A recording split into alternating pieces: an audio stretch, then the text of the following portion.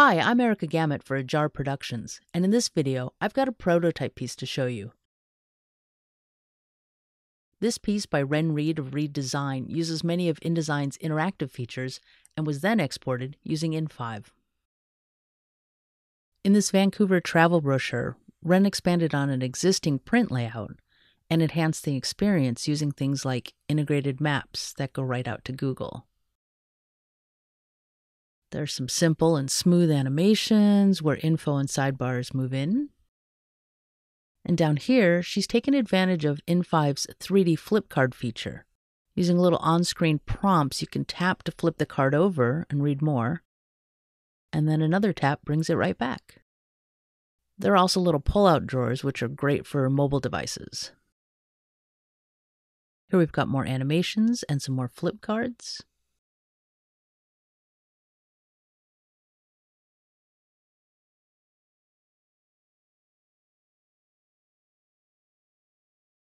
And up here is a nice little 3D animation made from an image sequence.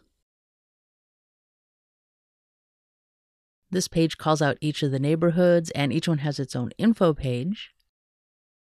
And maps, which are created with multi state objects.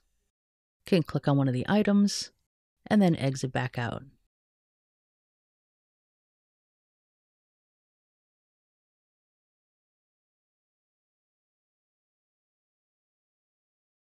And then it finishes up with an interactive map integrated right into the page.